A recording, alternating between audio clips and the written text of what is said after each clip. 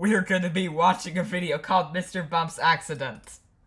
Alright, Mr. Bump, welcome to this job interview. Wait, wh- why am I here? Because you always bump into things and you always wonder why. I'm just so clumsy like Mr. Clumsy. Oh. So, um, yeah, I, I do need to, I just want to stop getting hurt. Yeah, I see. Oh, pickles. Wait, Mr. Strong, why did you say that? I don't know.